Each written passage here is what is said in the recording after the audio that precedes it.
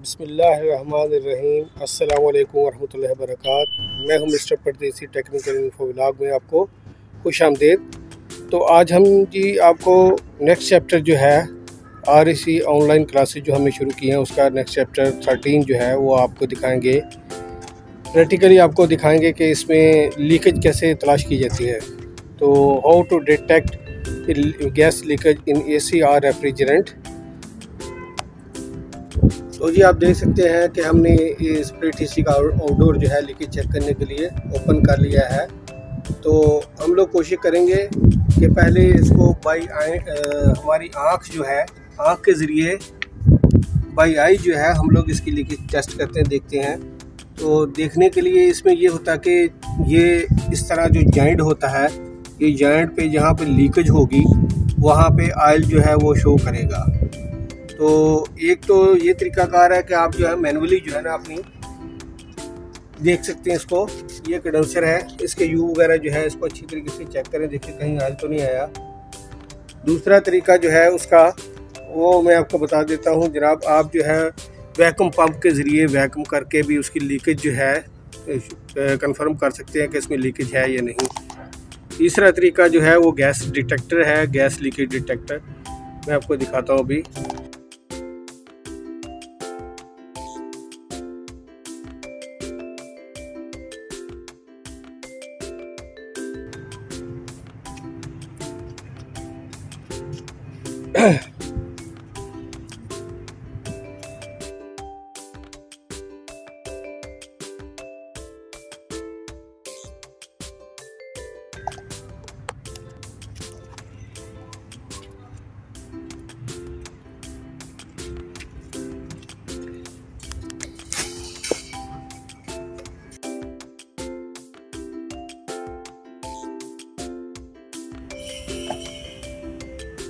इसमें जाग लगाओ। ये जेड पे।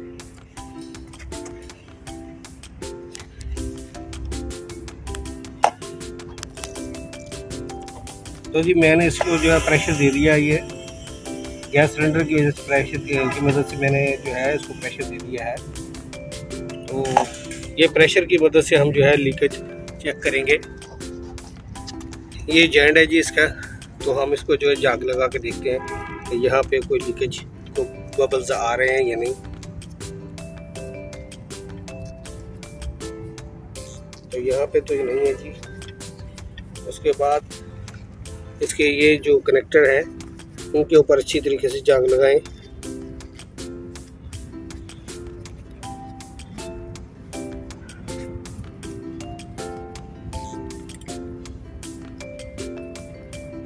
तो यहाँ पे भी लीकेज हमारी डिटेक्ट नहीं हुई।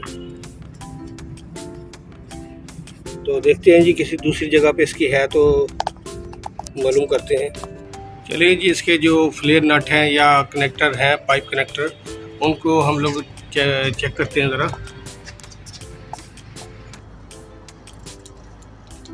तो जी, हम यहाँ पे जो है जॉइंट जो लगे हुए हैं कनेक्टर वगैरह लगे हुए हैं, यहाँ से इसको चेक करते हैं।